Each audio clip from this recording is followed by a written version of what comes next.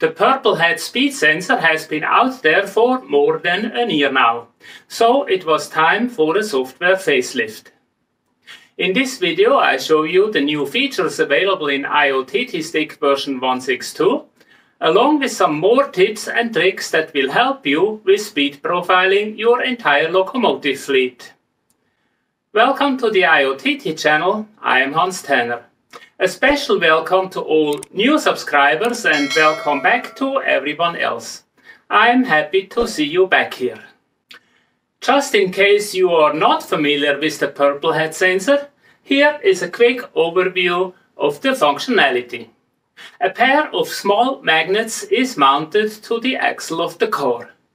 A three-axis magnetic sensor above the axle and inside the car is used to measure the rotation of the magnetic field and hence of the axle. The rotation angle multiplied by the circumference of the wheel results in the travel distance and, when divided by the time, the travel speed, which is continuously displayed. An automated function repeats the measuring process for every speed step and the resulting speed profile is used to set up the speed table. As a result, every locomotive of a fleet has a programmable and predictable scale speed for every given speed step. Now, this is not a new process, but the PurpleHat sensor allows to cut the time needed for profiling one locomotive down to about a minute or so.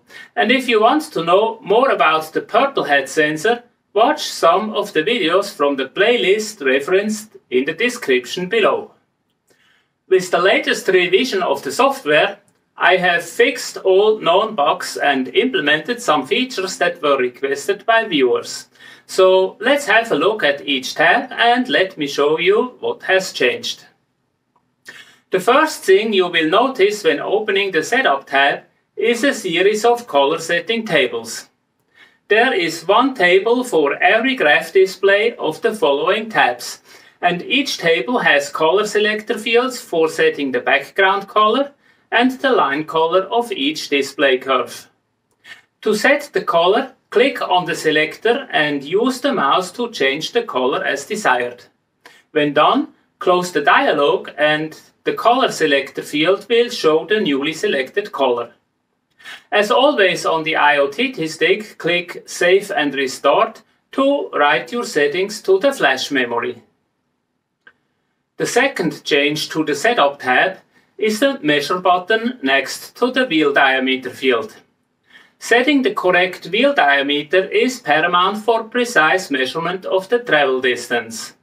Unfortunately, with many cars, getting access to the wheel and correctly measure the diameter is not that easy. So I was looking for a smarter way to do it and that is to simply push the car for a defined distance and then calculate the wheel diameter based on that. To do that, click the Measure button and enter the desired travel distance in the Push Distance field of the dialog. Note that the input must be in millimeters, so if you measure in inches, you have to multiply by 25.4. Then align the car to a known point, click the Start button and push the car manually to the end of the defined distance. Hold it steady and click Submit, and the wheel diameter will automatically be calculated and displayed. To minimize measurement errors, it is best to push the car over a minimum distance of about 4 or 5 wheel turns. Also here, click Save and Restart to make the new settings permanent. You can then use the Track Data tab to verify the measurement over a longer distance. On my N-scale layout, I use a 1 meter test track and the measured distance is typically between 995 and 1005 millimeters, so an error of plus minus 0.5% of the measured distance. If your measuring error is more than that, you can manually adjust the wheel diameter setting to get closer to the true distance. The Track Data tab looks the same as in the previous version. The only thing I have changed here is enabling the fields for grade and super elevation of the track. The data comes from the internal IMU of the IoTT Stick and unfortunately is not very precise. However, I decided to display it anyway and I hope it might be useful in some cases. What you may notice is the reduced latency on the display of the speed. This is the result of an improved algorithm to measure and calculate the travel distance based on the axle rotation. With the new algorithm, it takes less time to display zero speed once the car comes to a stop, and overall, the displayed speed is more timely than in the previous version of the IoTT Stick software. Then there is the new Analysis tab. You probably have noticed that most locomotives, when set to a specific speed step, are not really moving with a constant speed. Sometimes they go a little bit slower, sometimes they go a little bit faster. This new tab allows for analyzing these intracyclical speed changes. What it does is constantly displaying the average speed for different time intervals. The first curve shows the average speed of the last 250 milliseconds. The second curve displays the average speed of the last full second and curve number 3 shows the average speed of the last 5 seconds. All three curves are updated 4 times per second with the new rolling average value. In a perfect world with a perfectly performing locomotive, all three curves would show a straight line of the same value. For a real locomotive though, this will never be the case. What you will see is a certain fluctuation of the 250 millisecond value as the short time average speed changes constantly. The 5 second average on the other hand tends to show a horizontal line. The interesting curve is the 1 second average. If the motor of the locomotive is performing well, this tends to be a straight line as well. If the locomotive on the other hand has significant intracyclical changes, the one second average tends to become periodical. Comparing the three lines gives you an indication of the quality of the motor. Another interesting topic is analyzing the impact of speed stabilization. In this curve, we see the speed behavior of a locomotive first with speed stabilization off and later with speed stabilization on. As we can see, the resulting end speed for a given speed step is higher if speed stabilization is off. On the other hand, after changing the travel direction, the adaptation to the new speed is, is much slower because the decoder is not temporarily increasing the power to adjust to the new speed command. Quite interesting and I think much more insights can be gained by analyzing these curves, but try for yourself. The Speed Magic tab looks the same at first glance, but there are some improvements underneath the surface. The first is loading JMRI roster data or throttle profiles. In previous versions, if you reloaded a file that was already loaded, it was simply refreshed from the cache memory.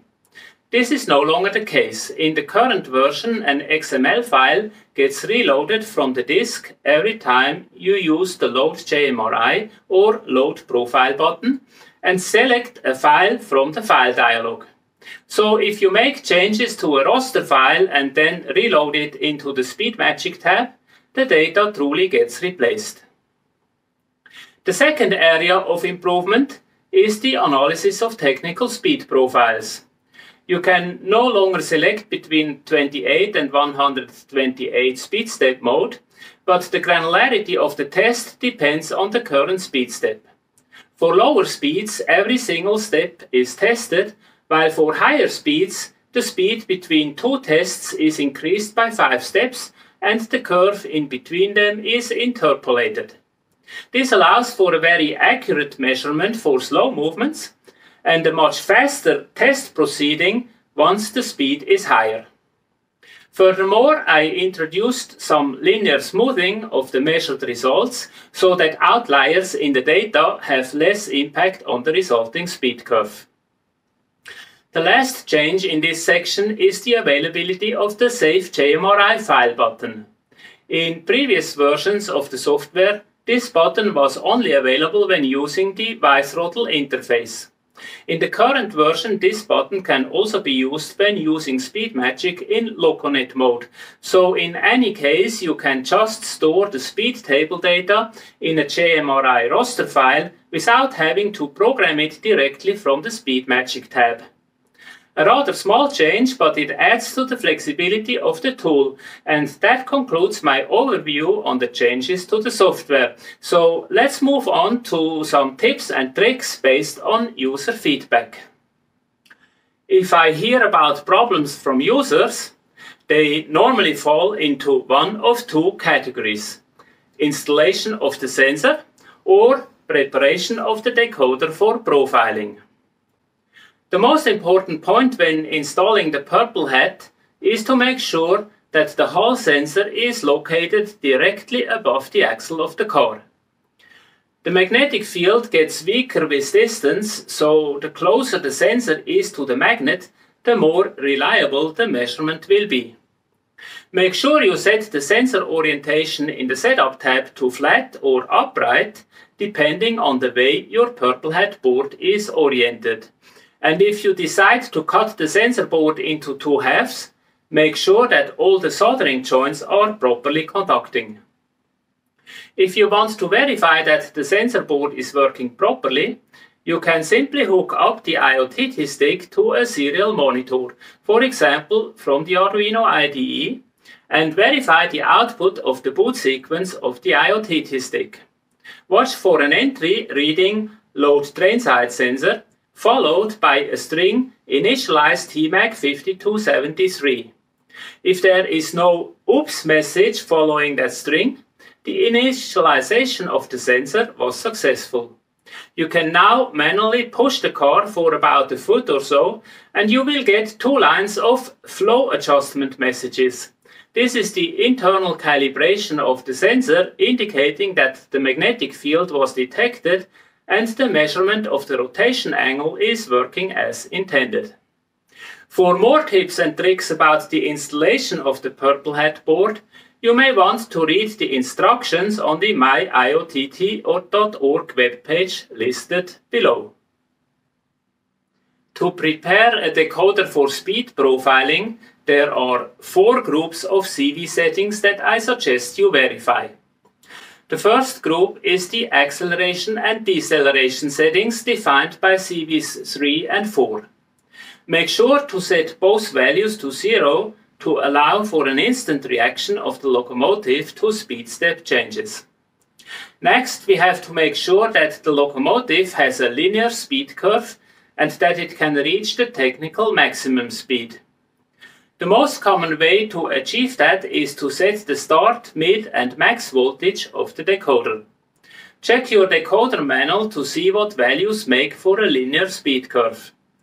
On some decoders, like for example my Digitrax DC121, you set all values to 0 to achieve that. Other decoders require settings of 0, 128 and 255 to achieve the same goal. Alternatively, you can also program a linear speed table and set forward and backward trim to the maximum value. Again, check your decoder manual for the correct trim value settings. Some older decoders require a trim value of 255 for 100% output, while others have a 100% trim effect when the value is set to 128. The next thing I verify is that the locomotive has some movement on speed step 1. If it does not move, then there is normally a kickstart value CV that you can increase to help breaking loose the rotor at low speed steps.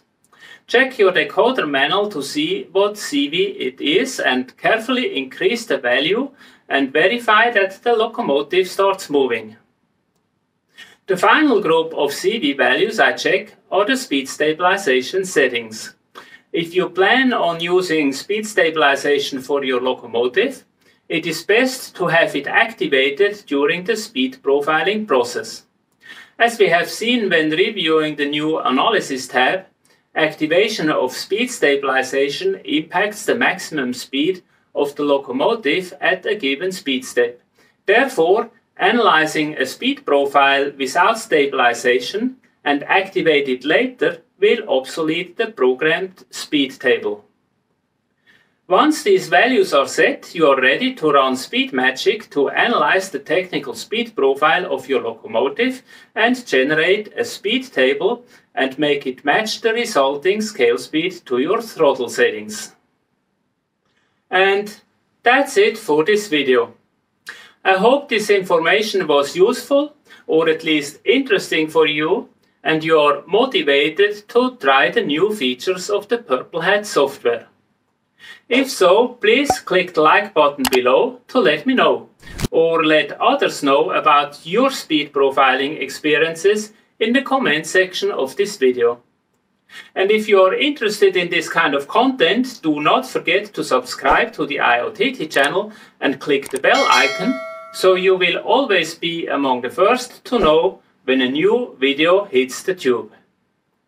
Thanks for watching and see you in the next video.